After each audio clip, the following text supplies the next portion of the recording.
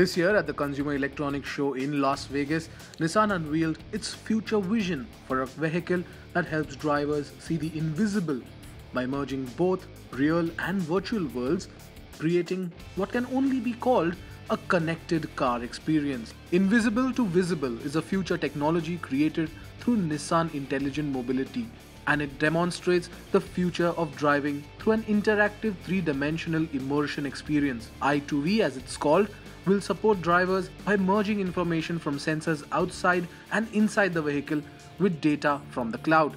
This enables the system not only to track the vehicle's immediate surroundings but also to anticipate what's ahead, even showing what's behind a building or around the corner.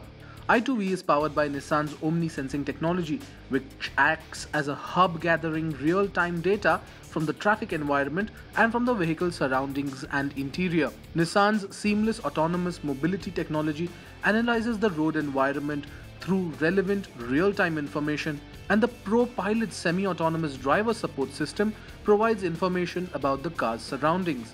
The technology maps a 360 degree virtual space around the car to provide information about things like road and intersection status, visibility, signage, or nearby pedestrians. It can also monitor the people inside the vehicle by using interior sensors to better anticipate when they may need assistance with finding something or a coffee break to stay alert.